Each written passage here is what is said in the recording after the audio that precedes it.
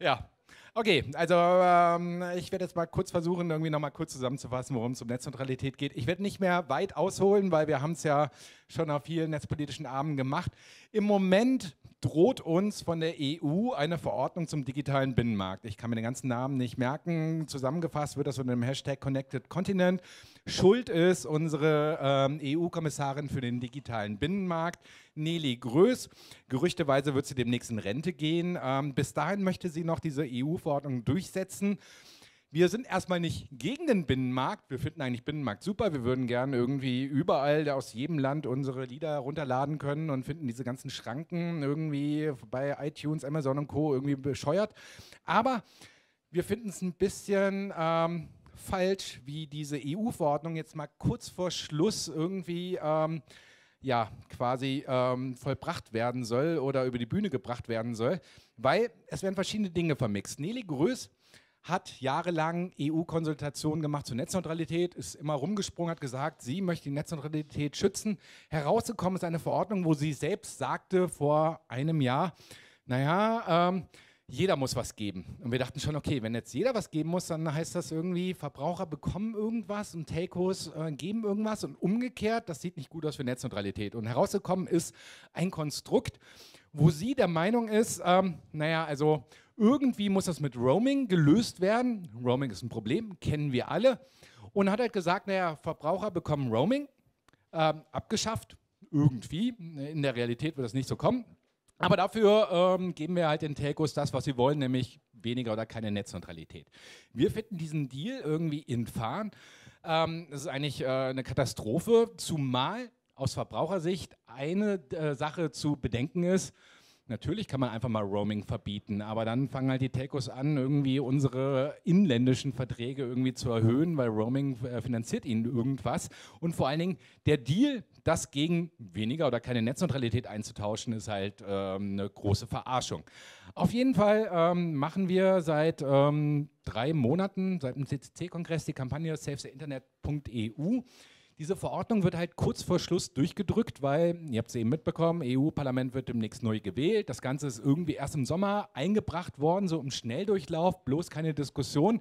Und gleichzeitig unter diesem Roaming-Framing ähm, äh, nach dem Motto, alle Abgeordneten oder Kandidaten können dann rumlaufen und erzählen, die EU löst eure Probleme und äh, schafft das Roaming ab. Dann könnt ihr im Urlaub irgendwie so viel surfen, wie ihr wollt damit bloß keiner über Netzneutralität redet. Ähm, wir versuchen irgendwie das Ganze auf die eigentlich wichtige Debatte rumzubringen. Auf savetheu. Äh, nee, savetheinternet.eu findet ihr alle relevanten Infos.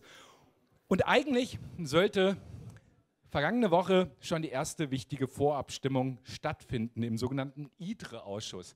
IDRE ähm, ist ein Ausschuss, dessen Namen ich nicht wirklich aussprechen kann. Ich nenne ihn immer Industrieausschuss. Und dieser Industrieausschuss ist der federführende Ausschuss. Im EU-Parlament läuft das so, wie in jedem Parlament. Es gibt halt einen federführenden Ausschuss, in diesem Fall Industrieausschuss. Es gibt verschiedene andere Ausschüsse, die empfehlen dem Industrieausschuss was, aber das ist eigentlich egal, weil letztendlich entscheiden die Abgeordneten in diesem Ausschuss, was dann wiederum als Empfehlung ins EU-Parlament reingeht, was in Straßburg so aussieht.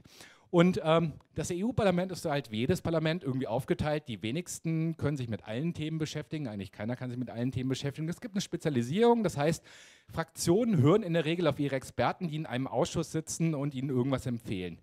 Und wenn jetzt dieser IDRE-Ausschuss eine Empfehlung tätigt, dann wird wahrscheinlich das EU-Parlament letztendlich im Plenum den Empfehlungen folgen. So läuft das in der Regel ab. Und dieser ITRE-Ausschuss, Industrieausschuss, sollte irgendwie vergangene Woche schon eine Vorabstimmung machen, aber das ist gescheitert. Was eigentlich ganz gut ist ähm, aus unserer Sicht, weil wir haben wahrscheinlich keine Mehrheit gehabt. Das liegt aber unter anderem daran, dass halt die Konservativen im EU-Parlament über 40 Prozent haben. Und dann gibt es halt noch die Liberalen und noch irgendwie ähm, Durchgeknallte und den ganzen Rest. Und gescheitert ist es ähm, skurrilerweise hieran. Kann man sich nicht vorstellen, aber in diesem Industrieausschuss ähm, sollte es zwei Abstimmungen geben. Erstmal über irgendwie eine Regulierung von ähm, Plastiktüten, um Müll in der EU zu beseitigen. Gutes Thema. Ähm, das haben aber die Konservativen, die eigentlich die Mehrheit hatten in diesem Fall, verhindert mit einem Geschäftsordnungstrick, kennen vielleicht die Piraten bei uns, ähm, Geschäftsordnungstricks, kann man immer anwenden, egal worum es geht.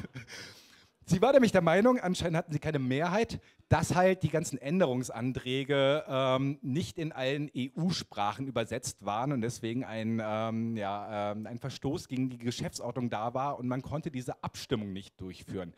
Das haben dann die Befürworter von Netzneutralität gleich in der nächsten Abstimmung wiederholt und auch darauf hingewiesen, dass halt ähm, nicht alle Übersetzungen da waren. Und deswegen haben erstmal irgendwie Plastiktüten ähm, eine Abstimmung gegen Netzneutralität verhindert.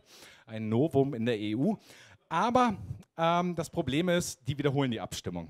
Das wird wahrscheinlich am 18. sein in der nächsten Sitzung. Und wir haben vor allen Dingen drei Hauptkritikpunkte, ähm, zu, für die es jetzt gilt, irgendwie zu campaignen. Einerseits fordern wir eine klare und äh, eindeutige Definition, was Netzneutralität ist. Das ist immer das Problem. Alle sind für Netzneutralität, aber wenn man mal in die Definition reingeht, dann meint die Telekom was ganz anderes von Netzneutralität, als was wir meinen. Dann gibt es ähm, ganze Kapitel zu Specialized Services. Da reden dann Politiker immer davon, dass Telemedizin ermöglicht werden soll, weil ja keiner irgendwie auf dem Operationstisch sterben soll, weil irgendwie ein Video schneller durchgeleitet werden soll und bla bla bla.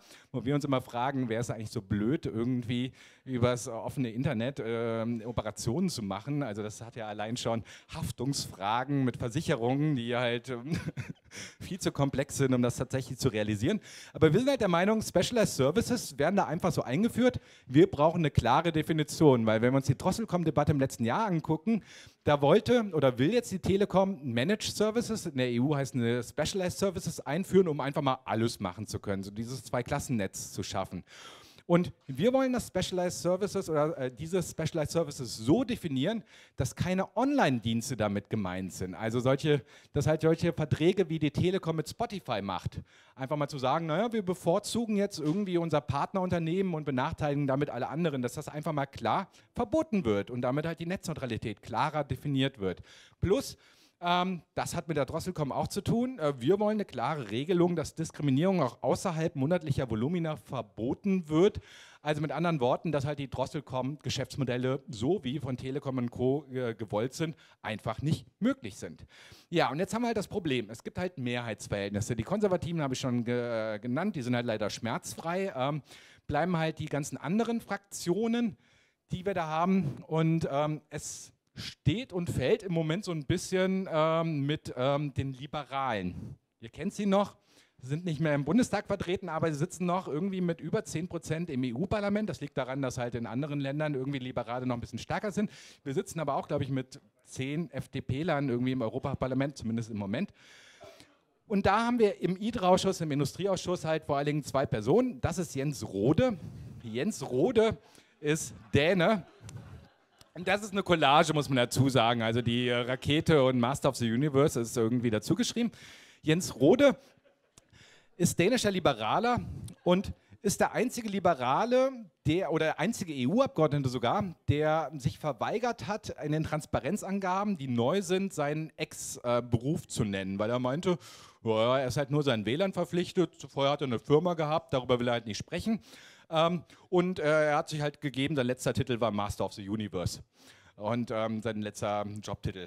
Ähm, Jens Rode ähm, ähm, Facebookt sehr gern auf, Dä äh, auf Dänisch, äh, aber es gibt halt zum Glück Übersetzer die das alles zusammenbringen. Und er hat sich da auf Facebook groß ausgelassen über all diese ACTA-Gegner, die jetzt für Netzneutralität sind. Und das ging überhaupt nicht. Und Netzneutralität wäre Kommunismus und so weiter. Könnt ihr alles auf etri.org lesen. Also wir haben da auch aufgegeben, auf netzpolitik.org darüber zu berichten, weil das war uns echt zu arm. Äh, aber unser Problem ist, es gibt auch einen FDP-Abgeordneten, ähm, Jürgen Kreuzmann.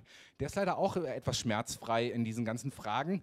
Es scheint so zu sein, dass äh, andere deutsche Liberale eher pro Netzneutralität sind, aber leider sitzen die nicht in diesem Ausschuss, sondern er sitzt im Ausschuss und wenn, wenn er dafür stimmt, dann werden die anderen wahrscheinlich auch eher dafür stimmen. Also unser Ziel ist, äh, wir wollen halt verhindern, dass das Internet zu einem Kabelfernsehen wird.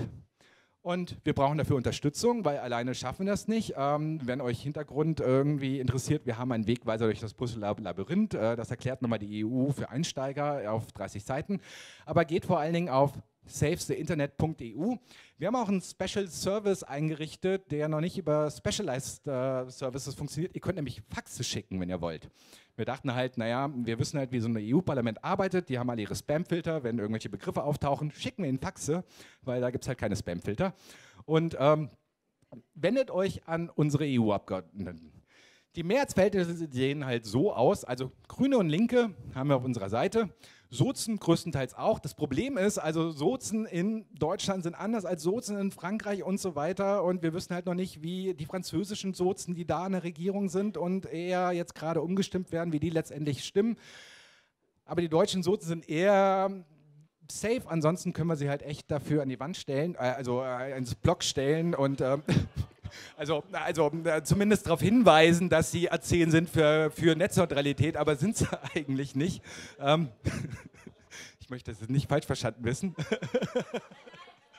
ähm, aber ähm, letztendlich geht es halt darum, wir haben da rund zehn deutsche liberale Abgeordnete, die sollen mal klar sagen, was sie zu diesem Thema zu sagen haben, weil am 18 stimmt der ITRA ab, der Industrieausschuss, und am 1. April soll schon das EU-Parlament als Ganzes darüber abstimmen. Also wir haben nur noch irgendwie knapp einen Monat Zeit bis zu dieser Abstimmung. Und wenn diese Verordnung durchkommt, gibt es zum Schluss nur noch ganz wenig Möglichkeiten, da einzugreifen, weil das wird ein großes Problem. Natürlich kann der EU-Rat sagen, er will da vielleicht was anderes, aber könnt ihr euch vorstellen, dass Deutschland mit Angela Merkel sagen wird, sie will Netzneutralität.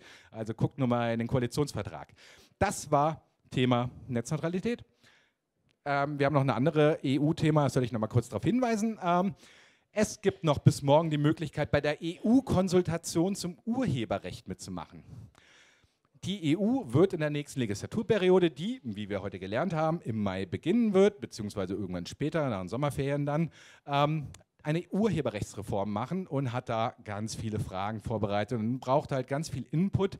Und wir haben auf netzpolitik.org nochmal heute die Links zu praktischen Tools wie youcan.fixcopyright.eu dargestellt.